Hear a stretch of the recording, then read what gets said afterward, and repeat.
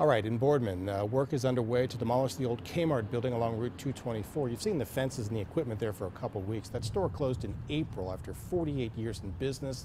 The building has been vacant since. Right now, no word if anyone plans to develop it. Chick fil A tore down its location. It moved across the street, as you know.